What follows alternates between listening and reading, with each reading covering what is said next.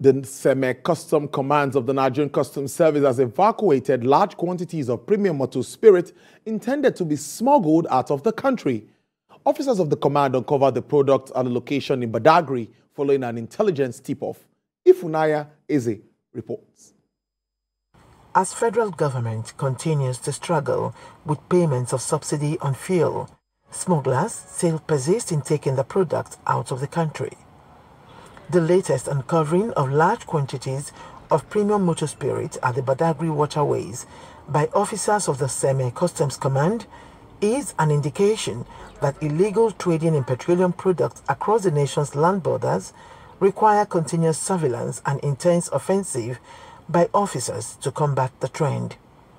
The area comptroller of the command, Mohamed Jibo, says that an intelligence tip-off led to the discovery of over 119,000 liters of premium motor spirit valued at more than 28.9 million naira. We have been monitoring this particular movement of these uh, unpatriotic Nigerians.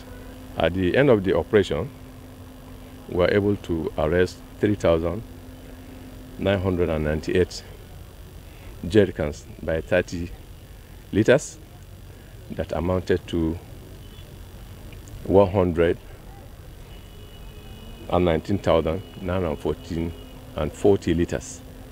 That is equivalent to almost four tanker loads of uh, PMS that was intended to be smuggled out of the country. This is uh, a sabotage.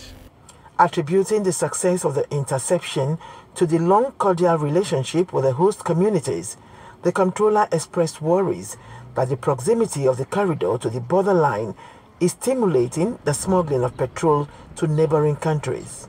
The command has been doing a lot in its uh, anti-smuggling activities, most especially, especially as it affects the petroleum products. I think uh, within a period of three, three weeks, apart from this particular seizure, we were able to make an arrest and seizure of uh, 2,121 jerrycans of PMS.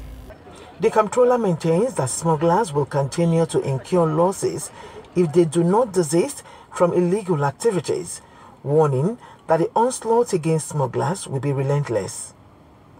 Ifunanya Eze, TVC News, Lagos.